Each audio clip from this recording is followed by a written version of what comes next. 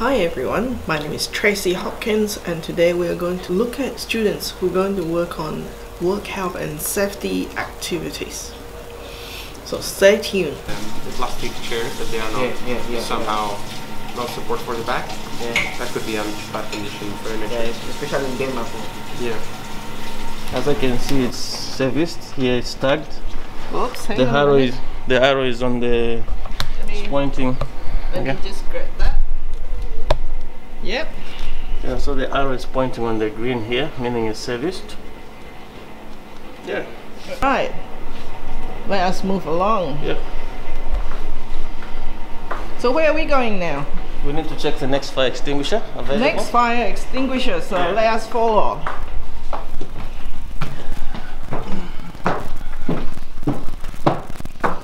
You find anything in the extinguisher? Here you are, more students working on this project, uh, doing a lot of check today, The making sure that everything's in place. the tag, the tag here on the fire extinguisher shows that uh, it it, ha- it has to be checked every one year. But It's every six months. yeah, but I think on. This is the trainer. Trainer's properly looking at the uh, first aid uh, kit to make sure that everything's in place. Well, Sean, the trainer, what do you think? What's happening? Yeah, so so far everybody's going through the first aid kits and making sure that everything is in there and everything's labeled clearly, making sure there's nothing that's past expiry dates.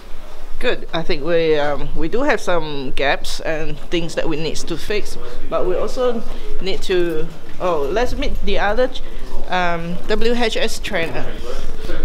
Hello, Fazan. Um, tell me about what you do as a WHS. Um, yes, this is Faizan. I'm delivering Cert 4 and Diploma Work Health and Safety lectures and assess people here as well. And today is a day of risk inspections at AWT premises, and students are doing their work, which is which I think you must have copied that one. Tracy's looking after. Yes, I'm t- going around and they're doing a lot of stuff. Fantastic. in the teams, in the groups, and presenting the information for the management to look after all the hazards and things. Yeah.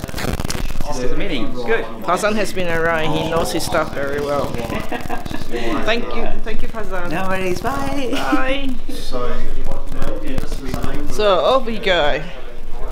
Again, students are still searching for things, making sure that everything's in place.